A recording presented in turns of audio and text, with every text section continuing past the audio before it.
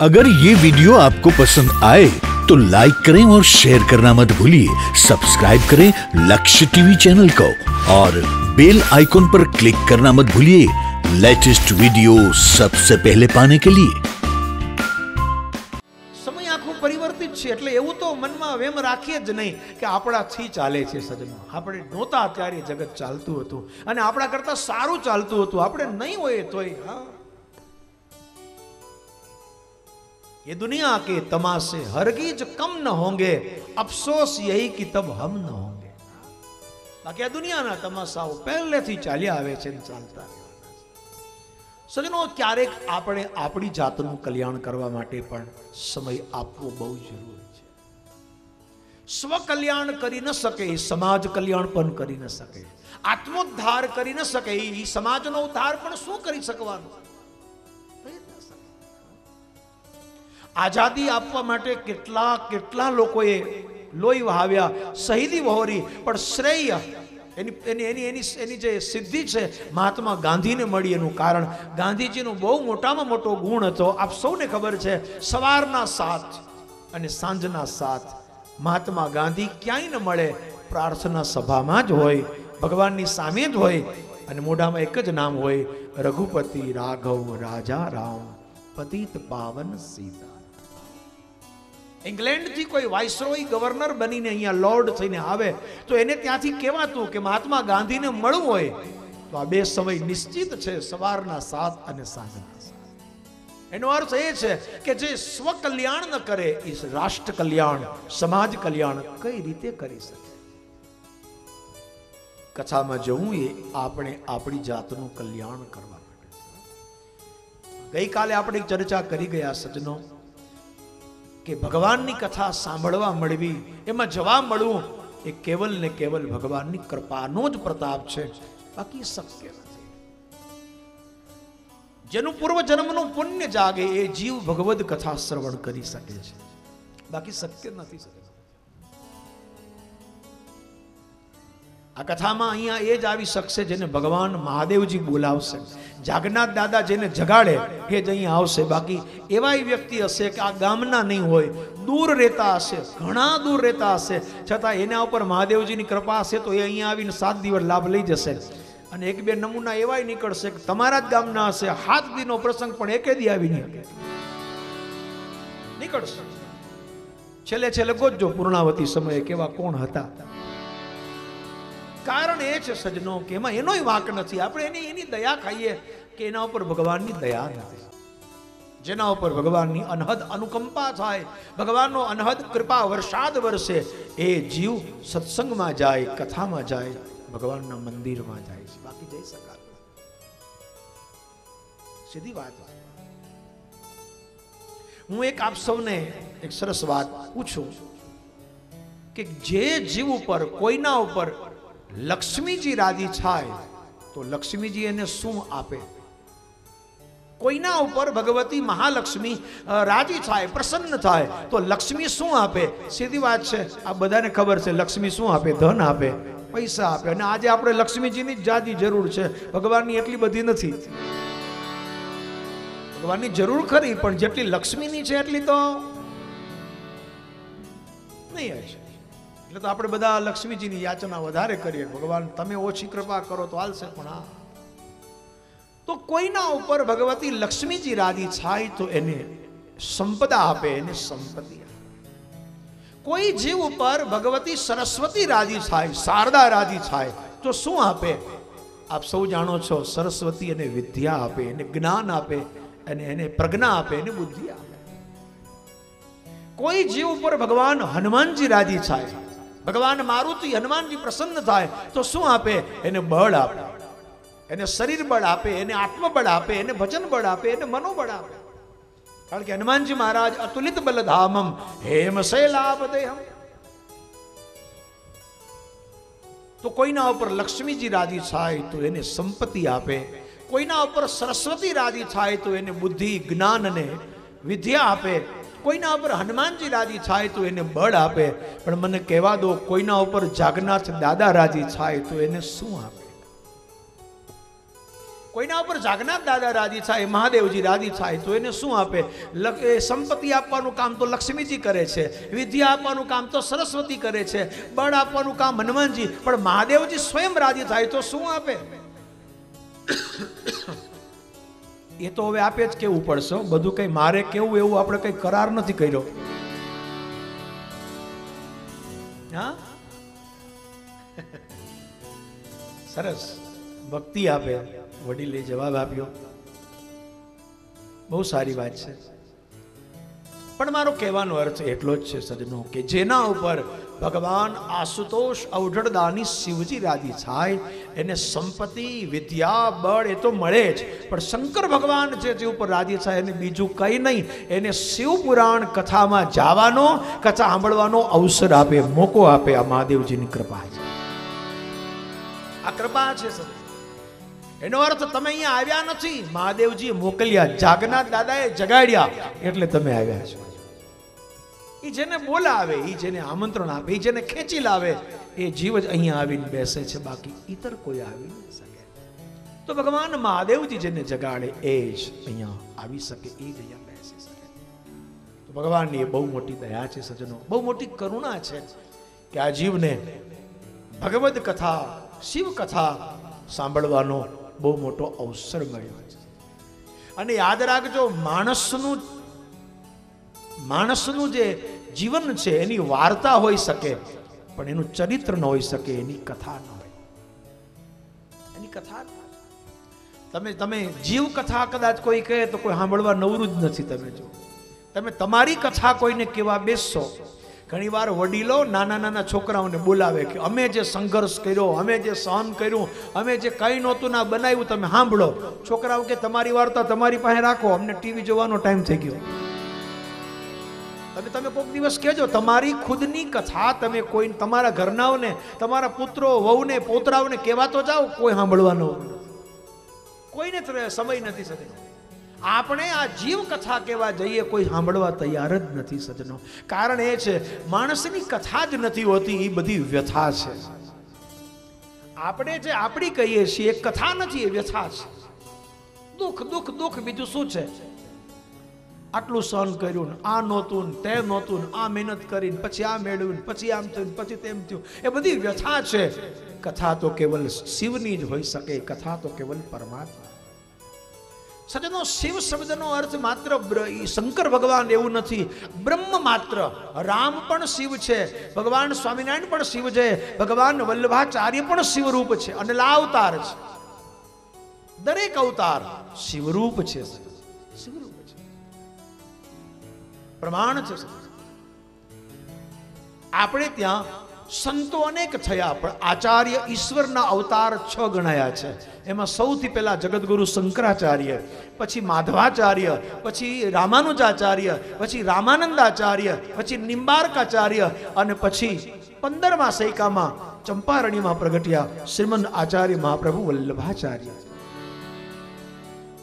ઇલમ્મા ગારુ ને એલમ્મા ગારુ ને ત્યાં પંડિત લક્ષ્મણ ભટ્ટ ને ત્યાં, તેલંગણ બ્રાહ્મણ.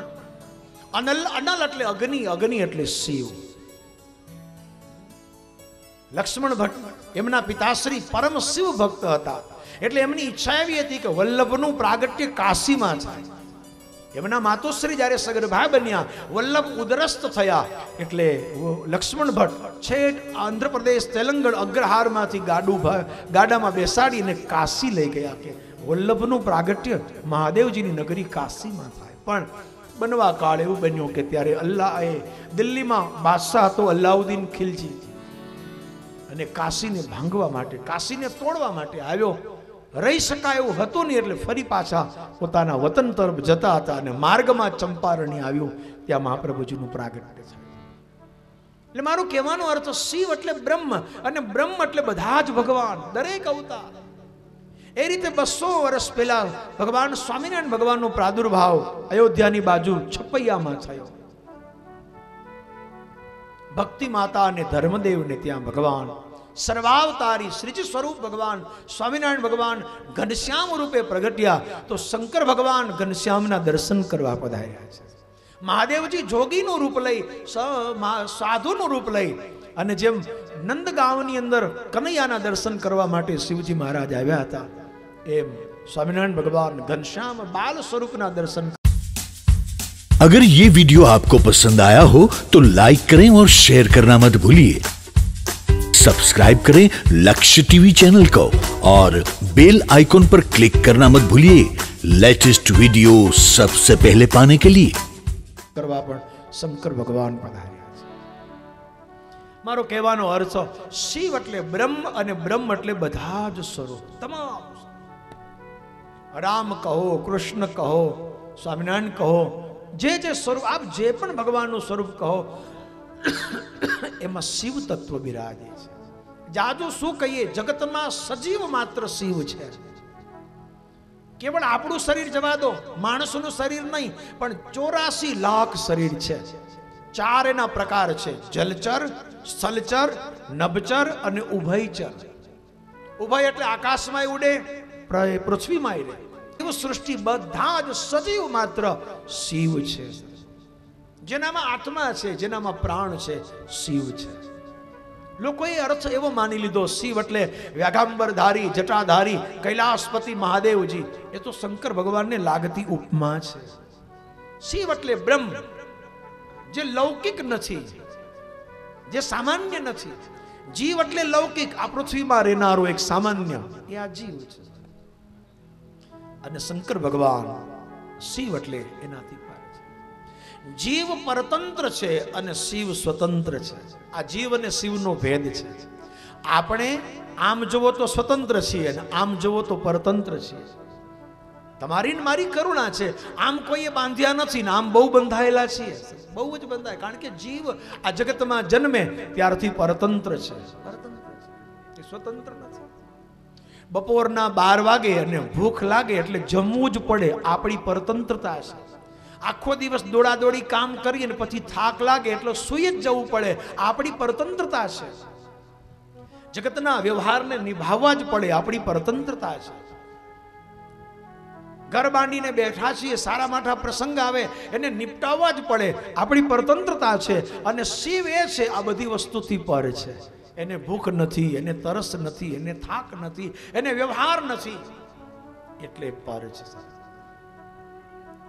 જીવ ઘરમાં રહે અને શિવ સ્મશાનમાં રહે. જીવ ઘરમાં રહે અને શિવ સ્મશાનમાં રહે.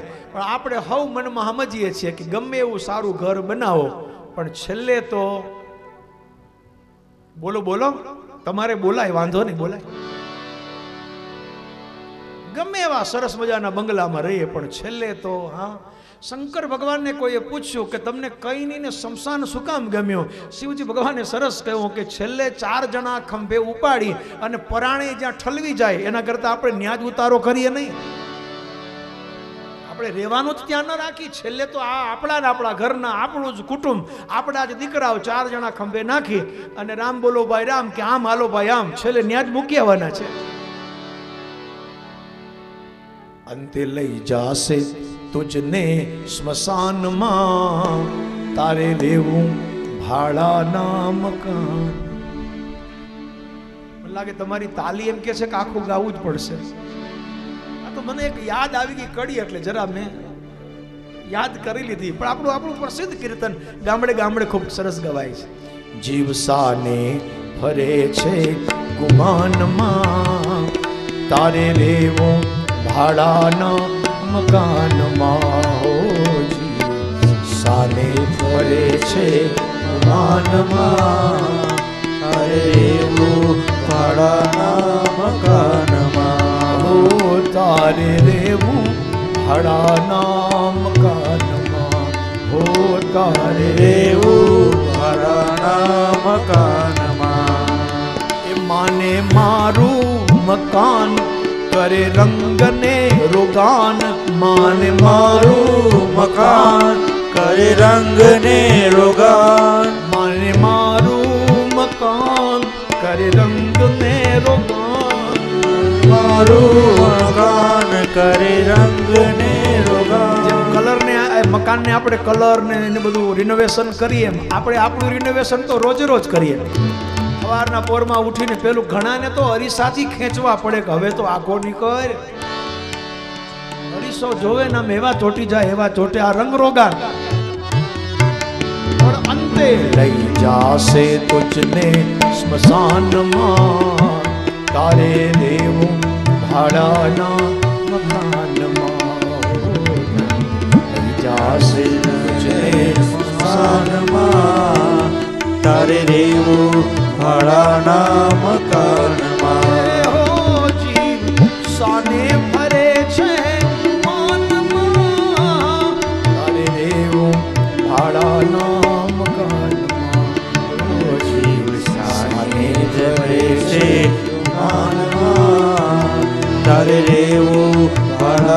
ભાડાના કાનમાં તારે દેવું ભાડાના મકાનમાં તારે લેવું ભાડાના નામ સજનો આ જીવનો છેલ્લો આશ્રય છેલ્લી ભૂમિ સ્મશાન છે. ચિદાકાશમાં કાશવાસમ ભજે હમ આખર તો આપણો ચિદાકાશમાં વાસ છે. ઘરમાં વાસ નથી, પૃથ્વીમાં વાસ નથી, અંતતો ગતવા ચિદાકાશમાં કાશવાસ આખર તો સજનો આપણો એ જ નિશાન. એટલે શંકર ભગવાન આ જીવ ઘરમાં રહે ને શિવ સ્મશાનમાં રહે. છેલ્લે તો આપણે ત્યાં જ જવાનું છે, એના સિવાય ઉધાર નથી.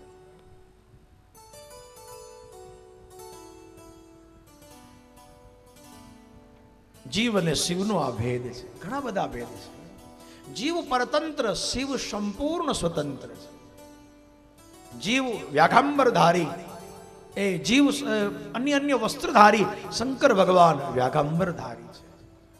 એ બધાથી પર છે પરતંત્ર નથી, સ્વતંત્ર છે એટલા માટે બ્રહ્મ શબ્દનો બીજો અર્થ શિવ છે. અને બ્રહ્મ એટલે અલૌકિક, પારલૌકિક તત્વ.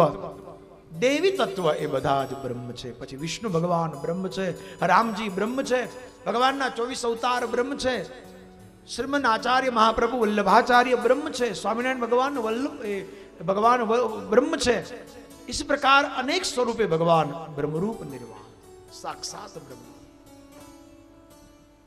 તો આપણે ચર્ચા એ કરતા હતા કે શિવ એટલે બ્રહ્મ અને બ્રહ્મ એટલે તમામ ઈશ્વરી તત્વ ઈશ્વરી તત્વ જેનામાં બ્રહ્મનો વાસ છે એ શિવરૂપ છે. આપણે જેની કંઠી લીધી હોય ને ગુરુ, એ શંકર ભગવાનનું રૂપ છે એને શિવ કહી શકાય. ગુરુમ શંકર રૂપિણી. ગુરુર બ્રહ્મા, ગુરુર વિષ્ણુ, ગુરુર દેવો, મહેશ્વર. આથી પ્રસિદ્ધ અને સિદ્ધ આપણો જાણીતો શ્લોક છે. આપણે જેની કંઠી પહેરી એ આપણા ગુરુદેવ પણ શિવ છે. આ જગતમાં જે જે પૂજ્ય તીર્થ છે, પૂજ્ય ચરણ છે, સાધુ સાધુતા જ્યારે ધારણ કરે ભગવા ધારણ કરે, તો એની સાધુતામાં પણ શિવ સ્વરૂપ છે. એ પણ શિવ છે. આપણે ત્યાં બ્રાહ્મણ જન્મથી પૂજાય છે, તો બ્રાહ્મણને પણ શિવરૂપ કહેવાય છે. એ પણ ભૂદેવ પૃથ્વીનું તીર્થ છે, એ પણ શિવરૂપ. મારો કહેવાનો અર્થ એ છે, જે લૌકિક નથી, જે પારલૌકિક છે, જેમાં દેવી તત્વ છે બધા જ શિવરૂપ છે. શિવ વ્યાપ્ત છે, શિવ નિરાકાર છે, શિવ એક ગુણનું નામ છે, શિવ એક ભક્તિનું નામ છે. શિવ એટલે કેવલ શંકર ભગવાન, કૈલાસપતિ, પાર્વતીનાથ, ગણેશ કાર્તિકના પિતા, આટલો જ આપણે માની લઈએ તો એ આપણી ખોટી વાત નથી, પણ એ થોડી આપણી સીમિતતા છે. बात गलत नहीं है मगर थोड़ी सीमित है તો એવા ભગવાન શિવજીનું નિરૂપણ કરવું એ કેટલી અઘરી વાત હશે હું કહેવા જે માંગતો હતો એટલું જ કે દુનિયામાં દરિયાનું તળિયું છે પણ શિવપુરાણનું તળિયું નથી પૃથ્વીની સીમા સરહદો છે બ્રહ્માંડને પણ માપવાળા માપે છે પણ શિવપુરાણ તો અગાધ ગાથા છે અકથ કહાની છે રામચરિત માનસમાં ભૂસુંડીથી શબ્દ લગાડે છે સુનવ તાત યહ અકથ કહાની આ અકથ છે છતાં એની કથા છે કહી ન શકાય એવું તત્વ એટલે શિવ પુરાણ છે એવી આ દિવ્ય ગાથા છે તો સાત જન્મ શું સાત આયખા પણ ઓછા પડે એવી આ વિસ્તૃત વિસ્તારવાળી અનંત દિવ્ય કથાને આજના મંગલ પ્રભાતે આજના મંગલ દિવસે આપણે શરૂઆત કરવા જઈ રહ્યા છીએ એમાં પ્રવેશ કરવા જઈ રહ્યા છે હું જે કંઈ પૂર્વ ભૂમિકા આપ સૌ પાસે રજૂ કરું છું, એનું કારણ એક જ છે કે સાત દિવસમાં શિવ પુરાણનું તળિયું નહીં મળે, પણ તત્વ જરૂર મળશે. એમાંથી લેવા એટલો સાર આપને જરૂર મળશે. બાકી તળિયું નહીં મળે. અને ઓમે મહાપુરુષો છે ને એ તળિયું ન માપે, તત્વ જ લે છે. એમાંથી જેટલું લેવાય એટલું આપણે લેવાય. બાકી એની બહુ ચર્ચા વિચારણા ન કરાય. રસોડામાં જેટલી રસોઈ બની બધી આપણી ન કહેવાય. આપણી થાળીમાં આવી એટલી આપણી. રસોડામાં તો ઘણી બધી રસોઈ બને. આખા ગામને નજર રાખીને બનાવવામાં આવી હોય. એમાંથી થાળીમાં આવે એટલી જ આપણી, ન આવી એટલી ક્યાં આપણી છે? મહાપુરુષો તત્વને પકડે છે. કલકત્તામાં સ્વામી રામકૃષ્ણ પરમહંસ એમને ત્યાં એક આંબાના બગીચાનો માલિક કાયમ આવતો. અને પરમહંસને વિનંતી કરે કે આંબાની સિઝન આવી છે, કેરીની સિઝન ખૂબ સરસ આંબાઓમાં કેરી આવી છે. આ પગલાં કરો ને, આ પધારો ને, અમારી વાડીએ પધારો. પરમહંસ રાજી થયા. તે દસ બાર શિષ્યોને સાથે લઈ અને જે આંબાનો બગીચાનો માલિક હતો, એને ત્યાં ગયા છે. પણ એ સરસ આંબાનો બગીચો, આમ કતારબદ્ધ લાઈનબદ્ધ બધા આંબા ને એના ક્યારા ને એની ગોઠવણી ને આ બધું જોઈને જે સાથે આવ્યા હતા ને, એ બધા આમ આમ આનંદમાં આવી ગયા. કોહો આ આંબાને કયો કહેવાય ને, એને શું ખાતર અપાય ને, એને પાણી ક્યારે અપાય ને, એ ક્યારે, એ બધી ચર્ચા માંડ્યા કરવા. એટલે આંબાના બગીચાનો જે માલિક હતો એને લઈ અને આવેલા શિષ્યો એ આંબાની માહિતી લેવા માટે થઈ આંબાવાડીમાં ફરવા ગયા અને રામકૃષ્ણ પરમહંસે શું કર્યું? પાંચ, છ કેરી લઈ એક ચપ્પુથી કાપી અને બેઠા બેઠા મંડ્યા ખાવા. એ કેરી મંડ્યા આરોગવા ખાવા માંડ્યા અને એના શિષ્યો એની ચર્ચા કરતા કરતા આખો આંબાનો બગીચો ફરી અને લગભગ કલાકે પાછા આવી અને પછી પરમહંસ પાસે બેસીને બોલ્યા કે અમે આંબા વિશે જાણ્યું ઘણું. અમે આંબા વિશે માહિતી ઘણી લીધી. અમે આંબા આંબા વિશે ઘણું બધું જાણીને આવ્યા છીએ. રામકૃષ્ણ પરમહંસ બહુ સરસ બોલ્યા કે તમે કલાક સુધી ચક્કર મારીને ખાલી જાણ્યું અને મેં તો પાંચ કેરી ખાઈ લીધી, સાર મને જ મળ્યો છે. આંબા વિશે જાણવા કરતા એની પાંચ કેરી ખાઈ લેવી એ એક વિવેક બુદ્ધિ છે, એક ડાપણ છે. એમ સજનો શિવ પુરાણ તો અનંત સાગર છે, આપણું આપણું ગજુ નથી. કે એને પરિપૂર્ણ આપણે જાણી શકીએ હા એમાંથી લેવાય એટલું તત્વ લઈ અને જીવનને આપણે શ્રેષ્ઠ કરીએ જેટલું તત્વ લેવાય એટલું લેવું એક જીવનનો સાર છે इससे ज्यादा और कुछ नहीं તો મહાપુરુષોની આ દિવ્ય ગાથા આપણને સાવધાન કરે છે કથા બડી સુંદર આપે આમ સાત દિવસ સુધી આપણે જેને સાંભળવાના છીએ એ અગાધ ગાથા છે એનું તળિયું જ નથી એવી આ સુંદર શિવપુરાણની દિવ્ય, ભવ્ય અને સદા સેવી કથાને આપણે શ્રવણ કરવા એક મહાપુરુષ સરસ કહેતા હતા કે સંસારમાં જેટલું ભવ્ય હોય છે, એ બધું દિવ્ય નથી હોતું. ભવ્ય ઘણું હોય છે, વિશાળ ઘણું હોય છે, પણ એમાં દિવ્યતા નથી હોતી સાથે. ભવ્યતા એ પ્રદર્શન છે અને દિવ્યતા એ દર્શન છે. જ્યાં માથું ઝૂકે, જ્યાં આપણી શ્રદ્ધા લાગે, જ્યાં આપણી આંખ નમી પડે, એ દિવ્યતા છે. અને જેને જોઈને આંખ પોળી થઈ જાય, ઓહો, વાહ, કેવું સરસ, એ ભવ્યતા છે. એ ભવ્યતા છે. ભગવાનની કથા ભવ્ય છે, પણ ભગવાનની કથા દિવ્ય છે આપણે ગઈકાલે ચર્ચા કરી ગયા એમ. તાજમહેલ ભવ્ય છે, પણ દિવ્ય નથી. દિલ્હીનો કુતુબ મિનાર કદાચ ભવ્ય હશે, પણ દિવ્ય નથી. પણ તમારા ઘરમાં એક નાનકડું મંદિર હોય, એમાં તમારા ઠાકોરજી, એમાં તમારા ભગવાન બિરાજતા હોય, એ નાનકડો ગોખલો હશે, નાની એવી જગ્યા હશે, પણ તો એ દિવ્ય છે, કારણ કે ત્યાં આરતી થાય, ત્યાં પૂજા થાય, ત્યાં વંદન થાય, અરે ત્યાંથી નીકળીએ ના, તો પણ આપણું મસ્તક મનથી ઝૂકી પડે. પ્રણામ થાય એ દિવ્યતા છે, અને પ્રશંસા થાય એ ભવ્યતા છે. વખાણ થાય એ ભવ્યતા છે, અને વંદન થાય એ દિવ્યતા છે. તો શિવ પુરાણ ભવ્ય પણ છે શિવ પુરાણ દિવ્ય પણ છે. કારણ કે એમાં મહાદેવજી બિરાજે છે. એમાં શંકર ભગવાનનો આવિર્ભાવ છે, એમાં શિવજીનો વાસ છે. જીતના ભવ્ય ઇતના દિવ્ય છે. અને એના કરતા એ ત્રીજી વસ્તુ બરાબર જાણજો. શિવપુરાણ ભવ્ય છે, દિવ્ય છે અને એટલું જ જીવનમાં સેવ્ય છે. હા, એને જીવનમાં આચરી શકાય એવું એ સેવ્ય છે. આ સેવન કરવાનો વિષય છે. એ કથા આ શિવપુરાણની કથા એ ખાવાનો વિષય નથી. શિવપુરાણની કથા એ પીવાનો વિષય નથી. શિવપુરાણની કથા એ સેવન કરવાનો વિષય એનું કારણ છે એ કથા એ ખોરાક નથી કથા એ પાણી નથી કથા એ ઔષધ છે દવા છે દવા. શિવપુરાણની કથાને ભવૌષધિ કહી છે. આ ઔષધિ છે ને આપ સૌને ખબર હશે કે સંસારમાં ભોજન ખવાય પાણી પીવાય, પણ ઔષધનું સેવન થાય, એ ખવાય પીવાય નહીં.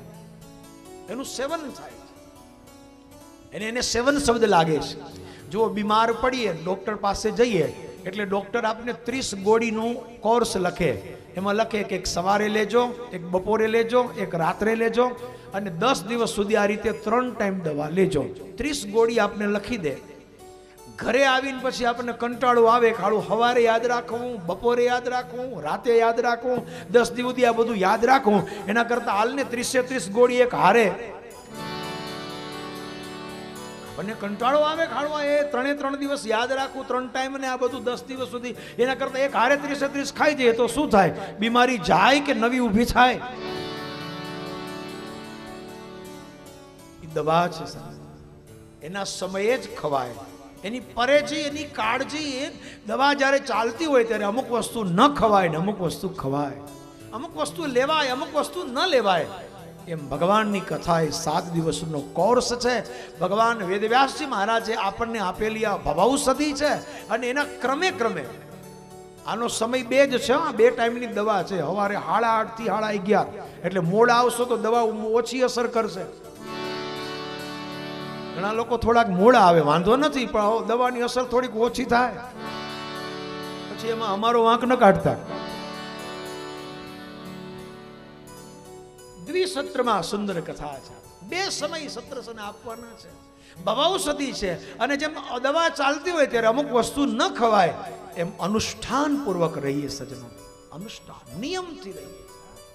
સંયમ અને નિયમે મનુષ્ય જીવનના બે દિવ્ય પગ છે સજનો આ જીવ શિવ બને એના માટેના બે પગ. સંયમ અને સાધના સંયમ અને નિયમથી જ શોભે છે.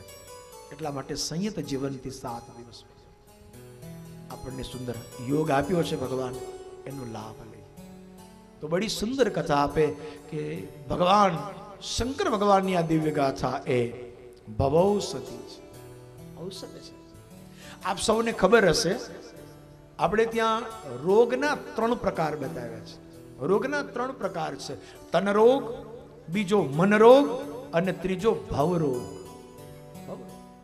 अगर ये वीडियो आपको पसंद आया हो तो लाइक करें और शेयर करना मत भूलिए सब्सक्राइब करें लक्ष्य टीवी चैनल को हाँ और बेल आइकॉन पर क्लिक करना मत भूलिएगा लेटेस्ट वीडियो सबसे पहले पाने के लिए